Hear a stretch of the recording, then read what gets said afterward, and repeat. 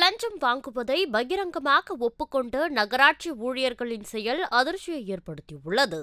திருவள்ளூர் மாவட்டம் ஊழல் தடுப்பு மற்றும் கண்காணிப்பு பிரிவு ஆய்வாளர் தமிழரசி ஊழல் தடுப்பு விழிப்புணர்வு வாரத்தையொட்டி மாவட்ட நகராட்சி அலுவலக ஊழியர்களிடம் லஞ்ச ஒழிப்பு விழிப்புணர்வு குறித்து அறிவுரைகள் வழங்கினார். அப்போது அரசு பணியில் லஞ்சம் வாங்கவில்லை என யாராவது ஒருவர் கூறுங்கள் தான் உங்கள் காலில் விழுகிறேன் என்ற ஊழல் தடுப்பு பிரிவு ஆய்வாளர் தமிழரசியின் கேள்விக்கு பதிலளிக்காமல் அமைதி காத்த நகராட்சி அதிகாரிகளின் வீடியோ வெளியாகி அதிர்ச்சியை ஏற்படுத்தி வருகிறது.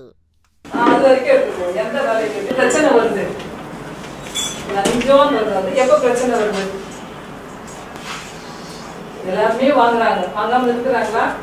நம்ம இருக்கிறோம்னு சொல்ல முடியாது இல்லையா? ஒரு லஞ்சுக்கு நான் வாங்கல. நான் இது வரைக்கும் ஓட்டிட்டேன். நான் முப்பது வருஷம் சர்வீஸ் ஓட்டேன் நான் வாங்கல. அப்படின்னு சொன்னீங்கன்னா நான் உங்க காலில் விழுந்து கும்பிடுவேன் அந்த மாதிரி இருந்தீங்கன்னா சொல்லுங்க.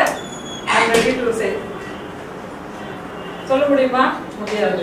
ஏன்னா ஆஹ், நம்ம அந்த இதுக்கு கொண்டு வந்துடுறாங்க. பாதி நம்மனாலும் பாதி ஜனங்க ஜனங்க உங்க தூண்டுறதுனால செஞ்சுருவீங்க ஓகே. பட் செய்யும் போது அந்த ஒரு ஒரு வேலைக்கும் நீங்க செய்யும்போது அந்த இடத்துல நம்ம இருந்தோம்னா எப்படி செய்யலாம்? நம்ம அண்ணன் தம்பி இருந்தா எப்படி செய்யலாம்? நம்ம அப்பா அம்மா இருந்தா எப்படி அவங்கள ட்ரீட் பண்ணலாம்? முக்கால்வாசி வரவங்க நீங்க ட்ரீட் பண்ற விதம் சரி அவங்க வந்து ரொம்ப டீஸ் பண்ற செய்திகளை உள்ளது உள்ளபடி தெரிந்து கொள்ள ரெஃப்ளெக்ட் நியூஸை சப்ஸ்கிரைப் பண்ணுங்கள்